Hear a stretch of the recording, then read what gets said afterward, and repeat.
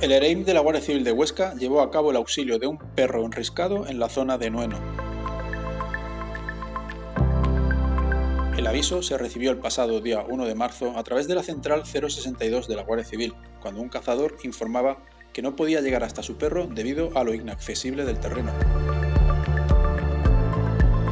Aprovechando unas prácticas de nivel técnico que tenían que llevar a cabo los especialistas, consiguieron sacar el animal de la zona teniendo que realizar alguna pequeña escalada.